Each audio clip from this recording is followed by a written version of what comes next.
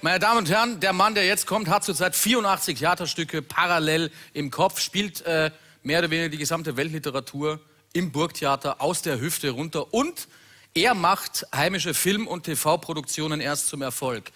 Wir alle haben ihn lieben gelernt als dauerbetrunkenen Diskothekenbesitzer in Braunschlag. Hier ist der unfassbare Niki Ovzarek.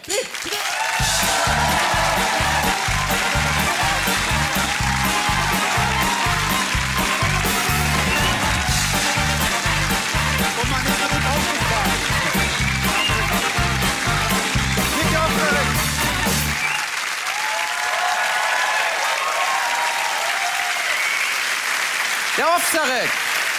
Magst Lieber du- Niki, darf ich dir was zu trinken anbieten? Wein? Ja. Ich muss hier wirklich, um gleich beim äh, Thema Braunschlag zu bleiben, es gab ja für mich eigentlich immer nur Harald Junke, der den Betrunkenen dann ernsthaft, also auch als er nüchtern war, hervorragend äh, spielen konnte. Ja, ich erinnere an den Film Der Trinker mit Harald Junke und du bist dann gekommen und hast dem Ganzen nochmal eine neue Dimension gegeben. So äh, authentisch und ich kenne diese Situationen, hat es für mich noch nie jemand dargestellt. Aber hat es dir geholfen, dass deine Mutter Irin ist? Und man sagt ja, Iren sind durchgehend betrunken. Ja, na, äh, meine Mutter ist selten betrunken. Wenn, ist es wirklich sehr amüsant. Wirklich, dann, die trinkt dann so einen Schluck. Und singt. Oh, when Irish eyes are smiling. genau. Das, was schon sehr bemerkenswert war bei Braunschlag, äh, war ja nicht nur die Darstellung des, des Betrunkenen meisterhaft gemacht, sondern auch dieser äh, extreme Mut zur Hässlichkeit. Auf dem Plakat sieht man äh, deinen Bauch und den Bauch vom Palfrader. Ist die Kamera jetzt auf meinem Bauch? Wahrscheinlich. Nein, ich war der... Ich, war, ich sag doch nichts gegen deinen Nein, schönen es war Bauch. mir klar, dass das kommt. Was Grissemann äh, unterschätzt ist, glaube ich, dass äh, man im Zuge einer Schauspielausbildung einen anderen äh, Körperumgang lernt, als du ihn zum Mein Beispiel lieber, hast. mein lieber, was heißt das? Ich, in unserem Kabarettprogramm komme ich mit Windel raus. Ja, ja, schon. Ich meine, das ist ein Wahnsinn, was du sagst. Ja, aber du, bist der, Er- des- du bist der Erste, der sagt, wenn, wir, lass mich mal aus, du bist Ja. der Erste, der sagt, wenn wir Dreharbeiten haben, nein, ohne Hemd mache ich nichts. Ohne, na, mit freiem Oberkörper sicher nicht, ich bin zu dick. Ja. Deswegen, das war die Frage. Ja, aber das wollte ich ja gerade sagen. Also da habe ich, glaube ich, das Gefühl, dass wenn du so eine Schauspielausbildung machst, was ich so weiß, ist, du arbeitest halt viel mit deinem Körper dort irgendwie. Und du lernst es dann, dass alle um dich herum nackt sind. Und ich kenne auch überwiegend dicke Schauspieler eigentlich nur. Und die sind das ganz, für die ist das ganz normal, dass sie sich so dick Wieso, aneinander wieso nackt kennst du kuscheln. überwiegend dicke Schauspieler? Ich kenne viele dicke Schauspieler. Wie viele dicke Schauspieler kennst du im Vergleich zu den ganz normal äh, schlanken Schauspielern? Die sind doch natürlich in der Minderzahl. Ich kenne eine ganze Reihe von dicken Schauspielern. Wer? Den Niki Ovzarek. du, darf ich dich was fragen? Ähm, darf ich dich fragen, in Salzburg bei den Festspielen, musstest du doch tagsüber auch oft spielen. Es ist doch Hochsommer dort.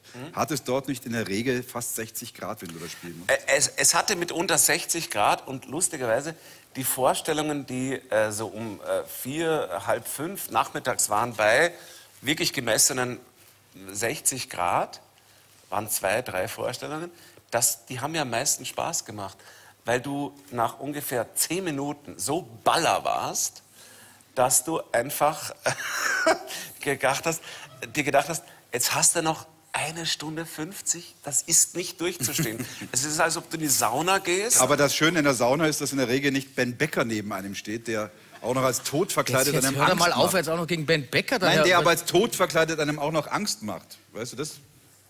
ich musste sehr, also das Absurde mit Ben Becker war, den ich ja sehr mag. Ähm, Ja. Da, ja. Ja, na, ich auch. Es ist übrigens eine äh, typische Reaktion. Ich mag Ben Becker. Ja. Ja. ja, genau. Man denkt, das Nein, ist das letzte Erlebnis mit ihm. Ich, ich muss ja über, ja, nein, ich muss ja über Ben Becker sehr lachen. Also wenn der neben dir steht und sagt, komm mit mir, ich bin der Tod. Da, da, da musst du lachen. Ja. Aber das hast du dir verkniffen. Auf der Bühne. Nicht immer. Ja. Nicht Aber bist du eigentlich froh, dass es drei Jahre gemacht? Bist du froh, dass es, dass es vorbei ist? Jedermann? Ja. Ja. Aber worauf Äh, kann stimmt sich das Zitat, freuen? Stimmt das Zitat eigentlich, Entschuldige, stimmt das Zitat, vom Theater habe ich die Schnauze voll? Von dir? Hast du das tatsächlich gesagt? Irgendwann sicher. Ich kann mich nicht dran erinnern, aber habe ich sicher mal gesagt. Aber entspricht es der Wahrheit? Vom Theater habe ich die Schnauze voll. äh, habe ich anders gesagt, wenn. Wo aber hast du es gelesen, Christoph? Hier. dann muss es stimmen. Ja, na, das, Dann stimmt das, dann stimmt ja, das. das, das sind die äh, Redakteure, geben mir das. Ich meine, Die das Ich habe das sicher mal gesagt. Ja. Aber ich weiß nicht, ob ich es öffentlich gesagt habe. Aber ja, sicher. Äh, das heißt, äh, ich habe ich hab das dich ja immer so eingeschätzt, dass du Ausflüge ins Fernsehen äh, eher so aus Lust und Tollerei machst und dass deine wahre äh, Leidenschaft schon tatsächlich dem Theater äh, gilt. Also die Sachen, die du beim Staatskünstler machst, wo du deine komödiantische Seite ja aufs allerköniglichste rauslassen kannst, das kann man ja im Burgtheater so in der Form wahrscheinlich nicht machen. Leider. Ja. Ja. Was ist die Frage? Die Frage ist, interessiert dich das, also die meisterhaften Darstellungen von äh, Nico Pelinka? Darf ich dich nur mal bitten, äh, den Mund von Nico Pelinka? Nein. Äh, nicht? Nein. Warum? Machen wir ein Gesicht. Machen wir ein Gesicht. Ja, was für eins? Na, machen wir. Nico Balinka, machen wir. Ja, kann ich ja nicht. Ja, eben. Ja, das war irgendwie, du hast es so... Ich könnte es versuchen. Nein, du musst. Pass auf. Also Nico Pelenka ist nicht schwer. Ja, dann mach doch mal. Darf ich mal? Macht ihr es beide?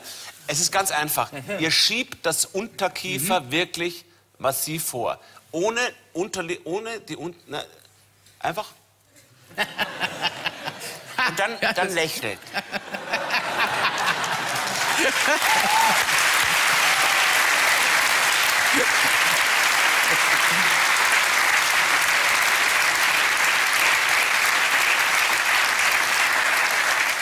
Ist jetzt, ist jetzt tatsächlich keine große schauspielerische Leistung. Du machst einfach. Aber die Wirkung ist groß. Die Ja, Wirkung und da ist ist der Nico ist schon da. Und äh, Oh, da ist ja ein Glas Weißwein. hast, Da nehme ich jetzt einen Schluck.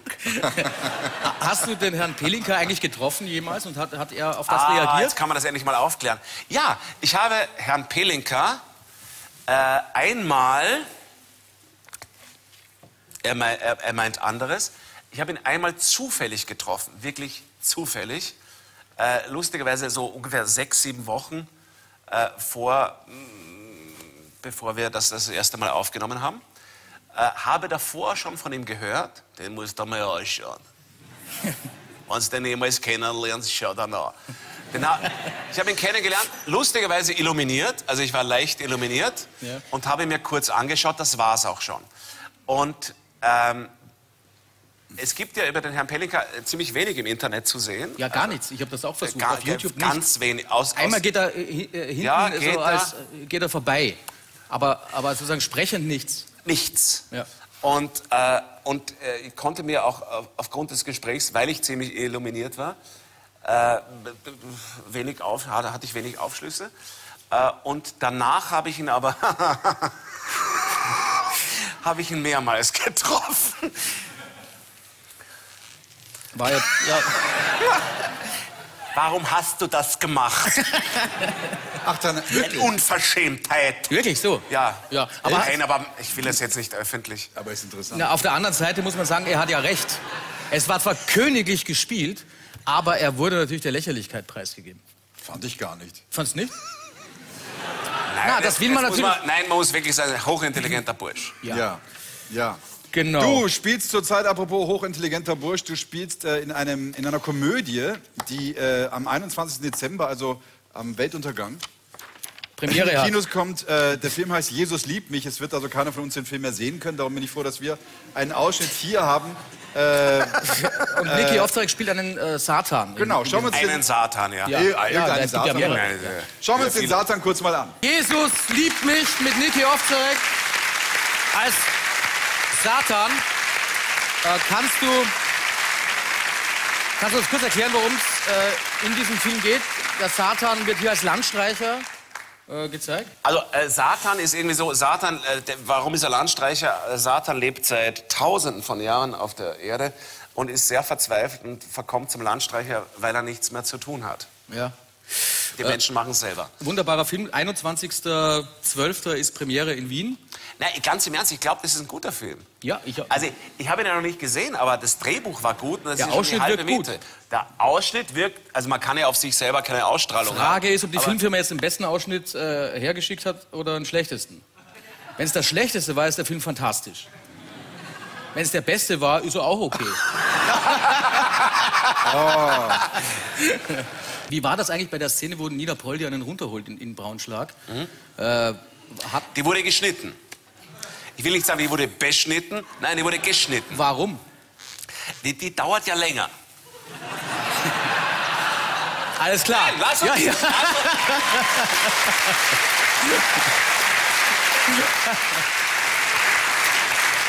Nein, lasst, la, lasst uns Gern. drüber reden. Ja, bitte darum. Bitte, ja. Die Szene dauert eigentlich länger.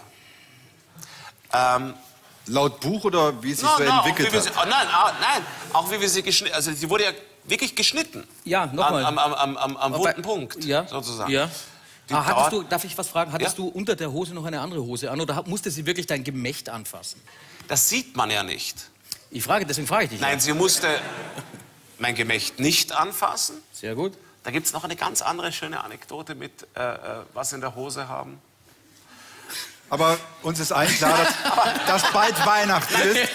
Dass Und A, außerdem bald Pa- Weihnachten ist und draußen Pater Johannes Paul wartet.